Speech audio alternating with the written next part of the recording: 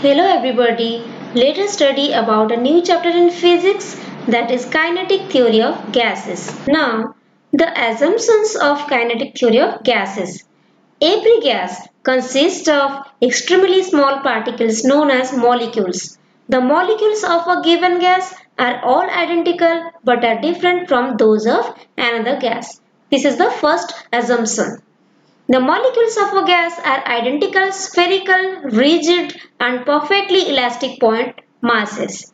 Their molecular size is negligible in comparison to intermolecular distance that is 10 to the power minus 9 meter. The speed of gas molecules lies between 0 and infinity. So this is very high speed. The distance covered by the molecules between two successive collisions is known as free path and mean of all free path is known as mean free path.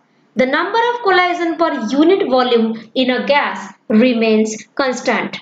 No attractive or repulsive force acts between gas molecules. Gravitational to extremely attraction among the molecules is ineffective due to small masses and very high speed of molecules. So these are the assumptions of kinetic theory of gases.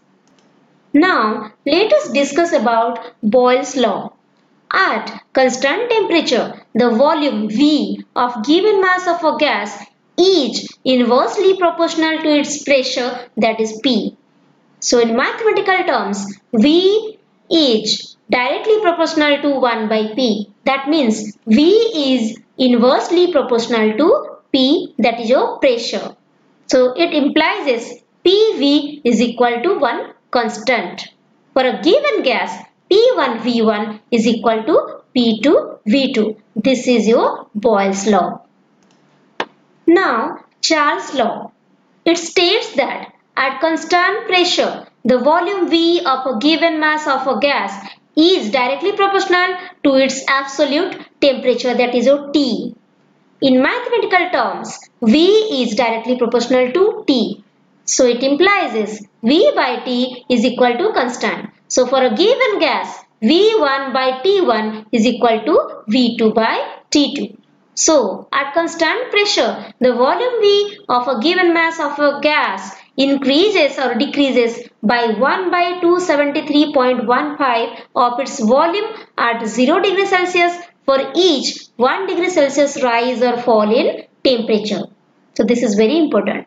Volume of the gas at T degree Celsius is equal to Vt is equal to V0 whole into 1 plus T by 273.15 where V0 is the volume of gas at 0 degree Celsius.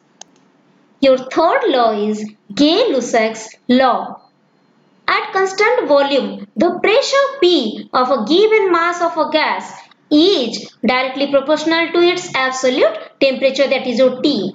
In mathematical terms, P is directly proportional to T. It implies P by T is equal to constant. For a given gas, P1 by T1 is equal to P2 by T2. At constant volume V, the pressure P of a given mass of a gas increases or decreases by 1 by 273.15 of its pressure at 0 degree Celsius for each 1 degree Celsius rise or fall in temperature. Volume of the gas at T degree Celsius that is Pt is equal to P0 whole into 1 plus T by 273.15 where P0 is the pressure of gas at 0 degree Celsius. Now Avogadro's law. Avogadro stated that equal volume of all the gases under similar conditions of temperature and pressure contain equal number of molecules. This statement is called Avogadro's hypothesis. According to Avogadro's law, the number of molecules present in 1 gram mole of a gas is defined as Avogadro's number. So Na is equal to 6.023 into 10 to the power 23 per gram mole. At STP or NTP, T is equal to 273 K. 1 mole of any gas at STP occupies 22.4 liter of volume. This is your Avogadro's law. Now, what is perfect gas equation? Gases which obey all gas laws in all conditions of pressure and temperature are called perfect gases. So, equation of perfect gas is PV is equal to nRT where P is the pressure, V is the volume, T is absolute temperature, R is the universal gas constant and N is the number of moles of a gas.